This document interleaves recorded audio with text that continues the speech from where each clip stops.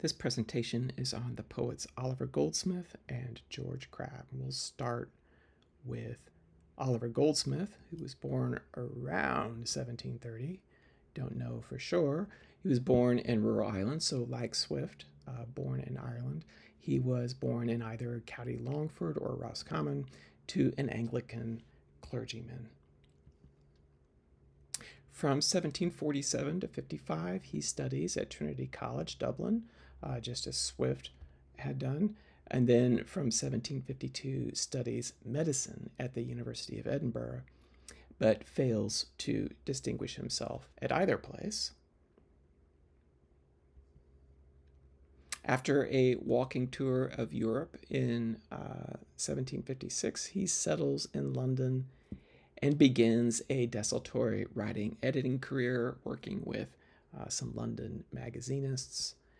And in 1760, his his first um, major work, the work that gets him some some some notoriety, is a popular series of articles uh, in the form of an epistolary travelogue using the persona of a Chinese traveler who comes to England and observes British culture and uh, society. And these articles were published as the citizen of the world. In 1764, this work that he was doing, his literary work, eventually brings him into contact with a man named Edmund Burke, uh, a very, very well known politician and intellectual who was very close friends with um, the literary critic of the 18th century, Samuel Johnson, who who uh, who wrote the first, um, well, one of the first dictionaries of the English language. And both these men, Edmund Burke and Samuel Johnson, recognized uh, Goldsmith's talent and supported him. And together, um, with some other prominent London intellectuals, they formed um, an influential social network known as the Club. So Edmund Burke, Samuel Johnson, and Oliver Goldsmith were all founding members. There were some others. The actor David Garrick was in there. The the um, painter Sir Joshua Reynolds, who was the first president of the Royal Academy of Art in London. Um, so it was a group of sort of the the um, most important um, artists and intellectuals of the period, the club. In a short span of years, from 1766 to 1773, Goldsmith uh, does something that's actually pretty remarkable for for any writer. He publishes a novel, The Vicar of Wakefield, in 1766. He publishes his long poem, The Deserted Village, which we're reading in 1770. And he publishes a pair of plays, including um, his very famous uh, comedy, She Stoops to Conquer. That play is still quite popular today in 1773. And all of these works were enormously popular and much admired for, and would be for over a century. And this gives Goldsmith the, the rare accomplishment of successful authorship in three major literary genres. Uh, so even though um, Goldsmith did not was not particularly prolific in any of these genres. Um, the fact that he wrote something in all three a novel, a poem, and some plays that um, immortalized him is a pretty remarkable fact, and this was noted by Samuel Johnson himself when he wrote Goldsmith's epitaph when he died in 1774. Um, Samuel Johnson wrote, He touched almost every kind of writing and touched none that he did not adorn. We're reading The Deserted Village, which appeared in 1770. Illustration from the beginning of the poem that shows some rustic people having a having a good time. In its combination of rustic scenery and pastimes with expressions of deep loss, the deserted village is an example of what is called pastoral elegy, and we'll talk more about elegy when we when we read Thomas Gray next. Um, but but expressions of deep loss in in in a rustic setting. Um, so grief and loss um, in this context, uh, the context of pastoral. So Goldsmith's evocation of uh, childhood memories and personal feelings in this poem is indicative of a trend in late 18th century poetry, and it's a trend that we will see continued um, with with um, uh, the poem, uh, the poets Thomas Gray and William Cowper, uh, which we'll be reading next. But it's a trend uh, towards affective modes of lyrical expression, uh, expressions of feeling, personal feeling, the evocation of sensibility, the ability to um, to, to, to be responsive to the feelings of others. And this would distinguish the poetry of the late 18th century and um, and later the the Romantic movement, which we will not be covering in this course. That will be that will be covered in British literature too. But in this poem, The Deserted Village, Goldsmith returns to a fictional village, the, the, the village of Auburn, uh, which he calls the loveliest village of the plain, where health and plenty cheered the laboring swain. Um, and this evokes, when he returns to this village after being absent for many years, it evokes memories of a thriving, happy community. He, he, he, he, he recalls singing and dancing and games, all of this unfolding under the stewardship of the village curate uh, and schoolmaster, whom he describes in the poem. And of course, uh, it doesn't take long for us to realize that that all of this is gone. Um, that that that the village um, that he remembers when he returns after many years no longer exists. It has been abandoned, or nearly abandoned. So, what brought about this change, according to Goldsmith, was a series of laws that were passed uh, throughout the 18th century, and collectively they're known as the Enclosure Acts. And what these acts did essentially was parcel out what, what were called common lands that had for centuries been used by the British peasantry for grazing their livestock, harvesting uh, firewood, gardening, among other things. Um, but there were changes driving this. Um, England had a growing population that needed to be fed. There were advancements in agricultural technology. And so wealthy landowners were encouraged by the government to seek out more cultivable land, to expand their farming operations. And the obvious result of this is that a lot of this a lot of these common lands were disappearing. They were being absorbed into these larger agricultural estates with the obvious result that a large number of poor manorial tenants were paid and sometimes they were compelled to surrender their holdings to get off the land and they were forced either to relocate to the cities um, which were becoming industrialized in the mid to late 18th century or to immigrate to America. And Goldsmith actually presents both these options in The Deserted Village. Actually talks about um, the villagers emigrating to Georgia. And not a very flattering portrayal of Georgia in the poem. Goldsmith sees this consolidation of land and power as the mechanism of luxury and greed, which he explicitly contrasts in the poem with the idealized natural life of this disappearing, humble yeoman class of you know modest rustic people and their, their simple lifestyle. Gone extinct and replaced, uh, displaced by uh, the motives of luxury and greed. So, some of the things to look for as you're reading this poem is where do you see allusions to the enclosure acts in the deserted village? Where do you see evidence of the speaker's sensibility, um, the poet's um, ability to feel. And wh- where does the poet talk about his feelings? Who else in the poem evinces this quality of sensibility, the, the, the capacity to, to feel for others?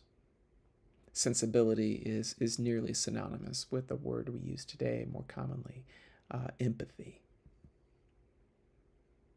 What role do women play in shaping the message of the poem. And what does Goldsmith envision as the role of the poet or the function of poetry? So look for all these things as you're reading, and then some of this will be the basis for comparing the deserted village with uh, the poem that we're reading by George Crabbe called The Village. And Crabbe was very much aware of what Goldsmith had written when he wrote The Village. I don't have any younger portraits of George Crabbe. This, is the older George Crabbe. This is not the 18th century George Crabbe. In 1754, he was born and raised in Aldeburgh, a poor fishing village in Suffolk on the on the, the east coast of, of England. In 1768, uh, he begins a medical apprenticeship that continues until 1775. He meets his future wife, Sarah Elmy, at this time, and also publishes some of his first poems. And and and unlike Auburn, which is a fictional village in Oliver Goldsmith's poem, Aldeburgh is uh, in Suffolk is a um, an actual an actual village uh, where he was where he was raised, and his portrayal of the people there is um, not particularly flattering to them. In 1777, he attempts to start his own medical practice in London, but is forced back to Edinburgh. He's it's not successful. He can't make a living there, and he returns to Edinburgh, but um, fares no better there. In 1780 to 81, he, he moves back to London to pursue a career as a poet, and he gains the patronage of Edmund Burke, um, who also was a close friend of Oliver Goldsmith. Um, much, you know, Gold, Goldsmith and Burke had met much earlier. This is now we're in, we're in, we're in the 1780s. We're not in the um, the, the 1760s anymore. Um, he shows some of his poems to Edmund Burke, and Edmund Burke uh, sees, recognizes his ability, um, and encourages him and helps him to get published. Um, and one of the things that he showed to Burke was an early draft of The Village, and Burke introduced him to Samuel Johnson and the painter Sir Joshua Reynolds. They became friends. In 1781, with Burke's support, he becomes an Anglican minister back in Aldeburgh but eventually, he doesn't like it there. He really doesn't like the people. Uh, and eventually, he accepts point, an appointment as chaplain to the Duke of Rutland at, Bel- at Belvoir Castle, which you see pictured there on the left. Um, and this provides him his relationship with the Duke of Rutland and later his widow provides him the financial security that he needs uh, to marry and continue writing poetry. And in fact, um, he continues um, um, remains very close to this aristocratic family for much the rest of his life. And they help him get curacies that will support him. In 1783, he publishes the poem that we're reading today, uh, "The Village." It was it was in two books, and we're reading the first book of the poem. In 1796, um, his son Edmund dies at the age of six. This was a particularly traumatic experience for the family, and his wife Mary, um, uh, I'm sorry, Sarah is her name, begins a mental decline that forces him to devote much of his time to her care until her death in 1813. In 1807, he publishes his first book in over 20 years, uh, The Village of 1783. We're now in the 19th century, 1807, and this book contains uh, old and new poems, uh, including the Parish Register, which was quite popular, and begins um, uh, uh, a trend in Crabbe's poetry of writing uh, narrative poems about. Um, about about the poor, about the mentally ill, um, which was which was novel at the time. In 1809, he begins a friendship with the poet and novelist Sir Walter Scott. Sir Walter Scott is the major literary uh, figure in the in the in the world of novel writing in the early 19th century. Pioneers the um, the rise of what's called historical fiction. A blend of, of history and fiction. This series of novels called the Waverley novels. Not important here. In 1810, um, he begins publishing very popular collections of narrative poems, which I mentioned before. One of them was called The Borough in 1810, and another one called Tales in 1812, and Tales from the Hall in 1819. We're not reading any of this material, it really belongs to uh, a later period, but it is part of Crabbe's career. In 1832, he dies after a brief illness in the same year as his close friend, Sir Walter Scott. So let's talk a little bit about The Village, which appeared in 1783. It's the only noteworthy poem that Crabbe wrote and published in the 18th century. Um, his reputation really rested rests on the poems that he published um, in the 19th century, The Borough, um, uh, Tales, Tales from the Hall, uh, these these collections of narrative poems. He agreed in principle with with uh, Goldsmith's indignation at the luxuriousness and corruption that exploited the rural poor and displaced them from their land. But he also felt that Goldsmith had grossly misrepresented his subject matter, that he had relied too much on the conventions of pastoral poetry inherited from Virgil and Augustan poets like Pope and Matthew Prior.